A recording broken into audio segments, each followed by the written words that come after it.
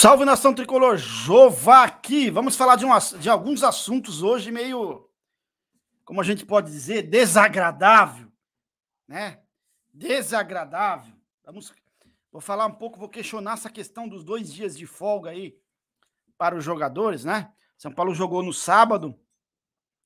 É, aí os caras tiveram folga no domingo e folga hoje na segunda. Hoje, com exceção dos jogadores que estão se recuperando, né? Se recuperando aí de, de contusão, estiveram no CCT, mais os belezas, né? Mais os nossos heróis, os nossos Batmans da vida, Superman, o Homem de Ferro do São Paulo, estavam tudo de folga, né? Acho que eles estão fazendo muito por merecer essa folga, né? né?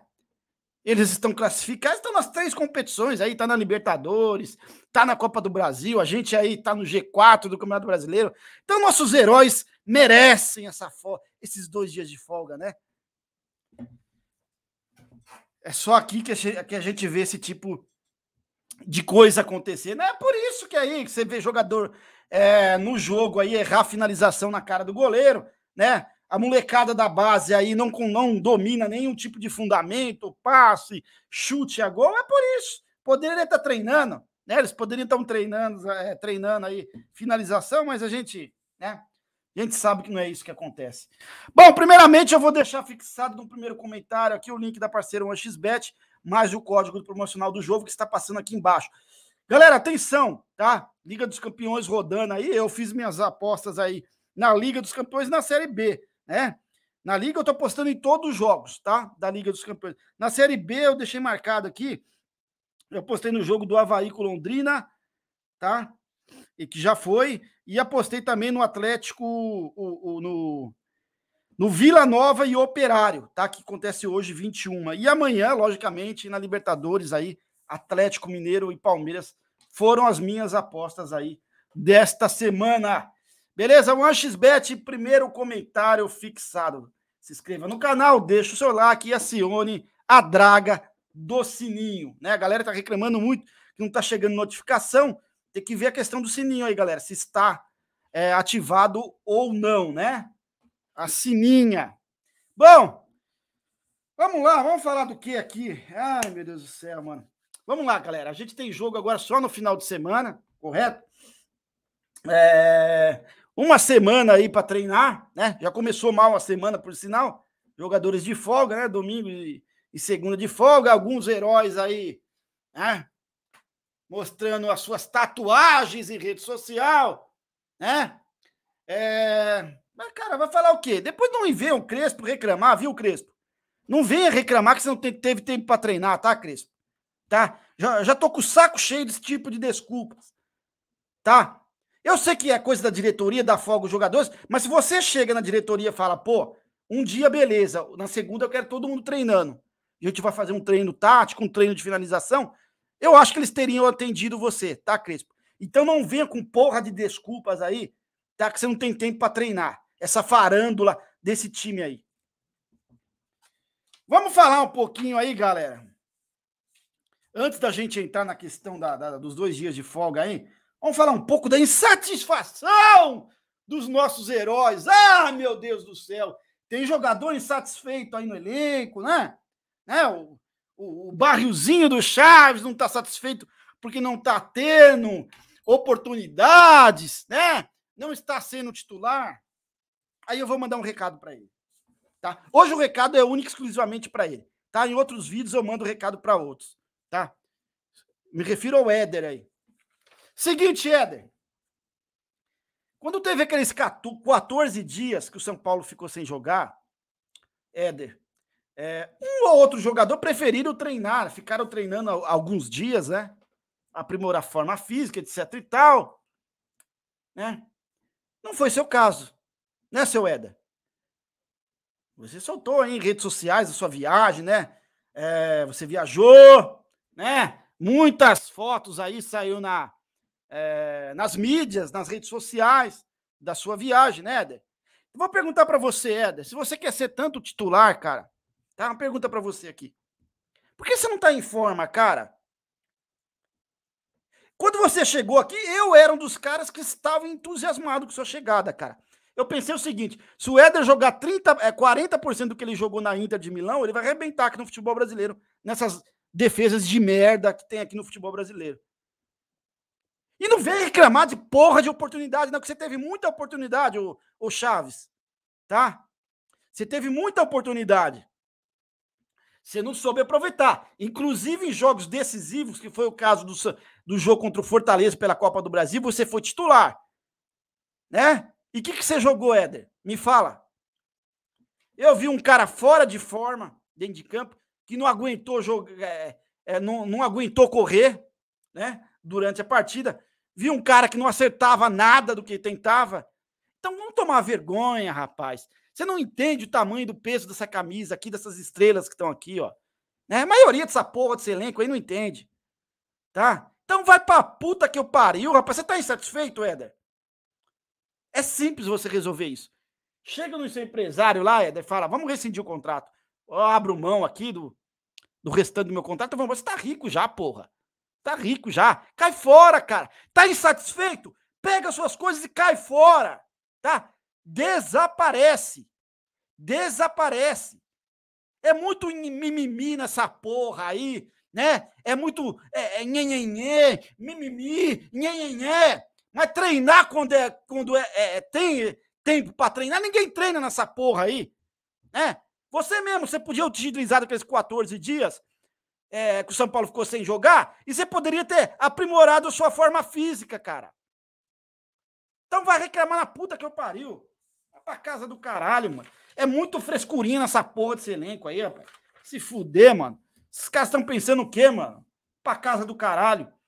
Bom, falando em porra de elenco, né? Os nossos heróis, né? Os nossos heróis Pegaram dois dias de folga, com exceção dos jogadores que estavam em recuperação, que hoje foram treinar, tá? Observação. Agora, os heróis aí que não ganha de América em casa, que não ganha de Juventude, estavam dois, pegaram dois dias de folga, né? Já ficaram aqueles 14 dias sem jogar, de folga, mais dois dias.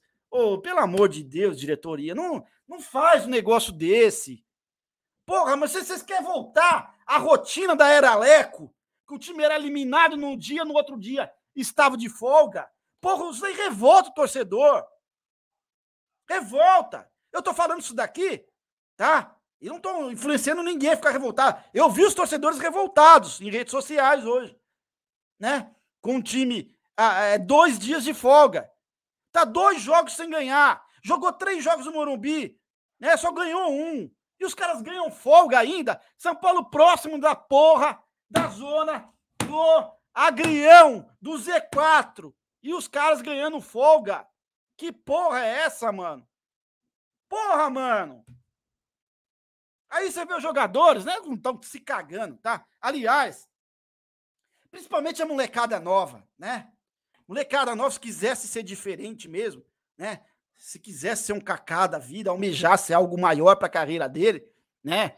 Sei lá, cara, é, ser um puta de um jogador lá fora, ser melhor do mundo. Poderia estar tá treinando essa molecada, né? Porra, vai treinar finalização, treinar passe. Um exemplo, eu até gostei do, da partida do Nestor aí, tá? Essa partida contra o Atlético. Só que vocês viram quando ele chegou na cara do gol? Que ele não sabe o que faz quando chega na frente do goleiro? Aquilo é despreparo, galera. Ele não domina o fundamento do chute. Tá, tô, tô, tô dando um exemplo do Nestor aqui, que ele foi até bem nesse jogo aí contra o Atlético. Mas se ele dominasse o fundamento da finalização, ele tinha feito o gol contra o Atlético. Essa vai ser a diferença dele ser um estupendo jogador ou mais um jogador nota 5, 6. Né? Por que não fica a mais, treinando a mais, cara? Custa. Todos os jogadores que foram diferenciados na história do futebol falam isso. Por que você foi tão diferente? Porque eu treinava, eu chegava meia hora antes, eu treinava finalização, treinava cobrança de falta. Todos os grandes jogadores fazem isso.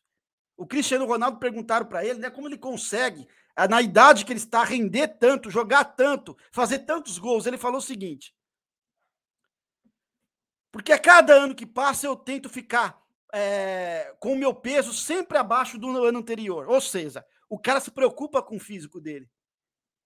E ele falou que treina muito, Fundamentos. Até hoje o cara treina fundamento, o Cristiano Ronaldo. Tá? Até hoje. Tá chegando, se aproximando ao fim da carreira do cara. Mas olha a carreira que o cara teve.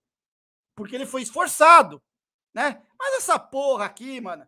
O jogador tá se cagando, essa, essas porra desses moleques aí, ó. Tá se cagando. O seu Lisieiro tava é, postando foto aí desses dois dias de folga aí, mostrando tatuagem. É, é pra puta que eu pariu, rapaz.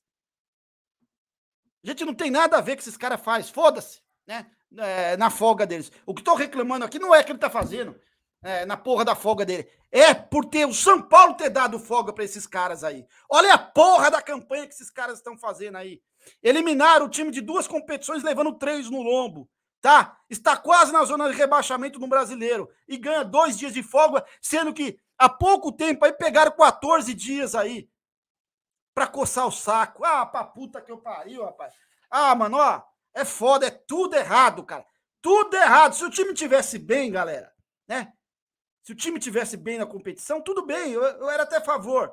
Mano, os caras estão se aplicando dentro de campo, estão conseguindo os resultados, né? Porque é resultado sim, caralho. Aqui é São Paulo Futebol Clube. É resultado. Tem que ter resultado. Tem que ter resultado aqui.